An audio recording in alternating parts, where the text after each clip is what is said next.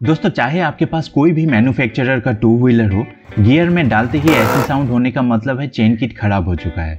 अब आपके पास दो ऑप्शन है, या तो आप टोटल चेन किट को चेंज कर सकते हो, या फिर चेन किट अगर ठीक है ओनली चेन सॉकेट को चेंज करके आपका प्रॉब्लम सॉल्व हो सकता है, और ये आपको इमीडिएट करना पड़ेगा। नहीं तो थोड़ा सा टिल्ट या फिर ओवरटेकिंग के टाइम आपको सही से टॉर्क नहीं मिल पाएगा, और ये आप घर पे ही कर सकते हो। स्टेप बाय स्टेप आप लोगों को बताएँगे ताकि आपके लिए आसान हो जाए एंड कुछ मनी सेव कर पाओ।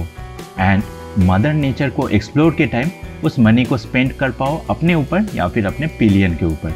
लेकिन उससे पहले अगर आप हमारे चैनल पर नए हो मेक श्योर sure हमारे चैनल को सब्सक्राइब करके बेल आइकन को ज़रूर हिट कीजिए। दोस्तों प्रॉब्लम को आइडेंटिफाई करने के लिए इन दोनों स्क्रू को हमें खोलना है। और इसे खोलने के लिए 10 नंबर का टीवर हमें चाहिए। आप स्पैनर का भी यूज़ कर सकते हो।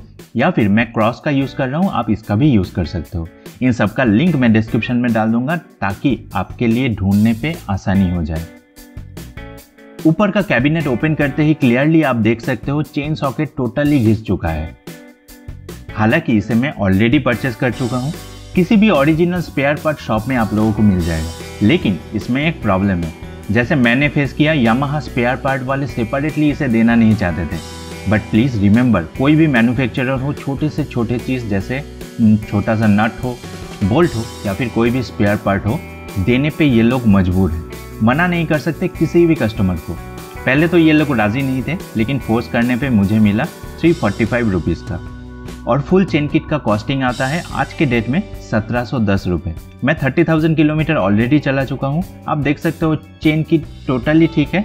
बस चेन सॉकेट को चेंज करने पे ही हम लोगों का प्रॉब्लम सॉल्व हो जाएगा। अब इसे चेंज करने के लिए सिंपल स्टेप है आठ नंबर का टी बार या रेंच या फिर स्पैनर का यूज़ करके इसे लूज करना। रेयर व्हील को लॉक करके ये कान आसान हो जाता है। आप देख सकते हो लॉकर को थोड़ा सा मूव करते ही ये हाथ में निकल आएगा। लॉकर को संभाल के रखने के बाद नेक्स्ट स्टेप में चेन को लूज करना है कंप्लीटली और आप लोग ऑलरेडी जानते हो साइड एक्सेल नट को लूज करना है एंड पूरा एक्सेल रोटेट ना हो, इसीलिए और एक रेंज लेके हम लोगों को एक्सेल रॉड को होल्ड करके रखना है।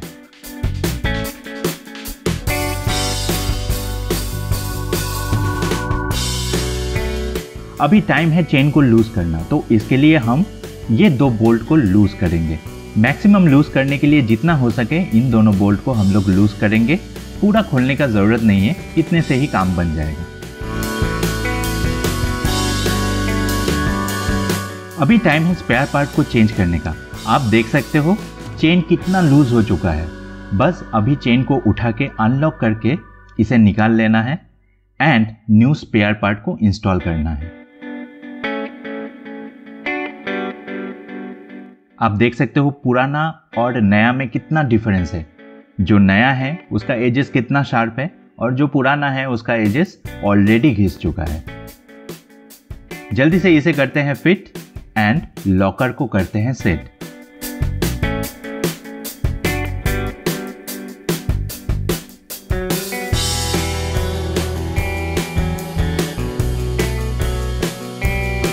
अब आठ नंबर का ट्यूब आर यूज़ करके हम लोग इसे करेंगे टाइट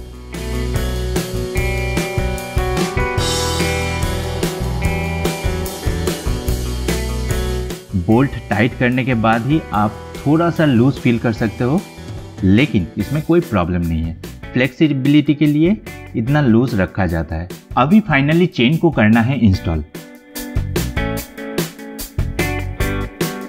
सबसे इंपॉर्टेंट चेन फ्री कितना रहेगा? इसका एक शॉर्टकट तरीका है जो हमेशा करेक्ट होता है। आप लोगों को कोई भी स्केल लेके मेज़रमेंट करने का ज़रूरत नहीं पड़ेगा। आपको बस देखना है कि चेन जो स्विंग आर्म का बीम है, उसमें टच ना हो। बस इतना सा फ्री मूवमेंट चेन के लिए हमेशा बेटर रहता है।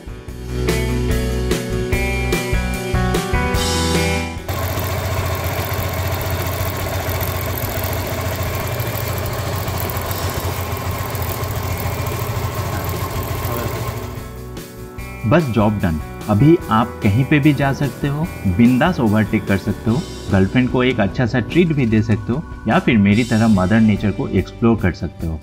एंड बोनस में आप लोगों को मिल जाता है एक सेटिस्फेक्शन अपने बाइक को खुद के हाथ से रिपेयर करने का।